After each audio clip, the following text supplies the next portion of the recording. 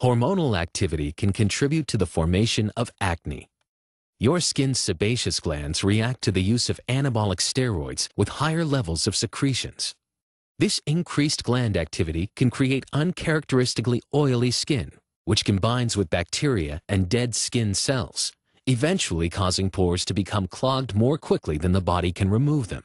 This can result in severe acne and permanent scarring.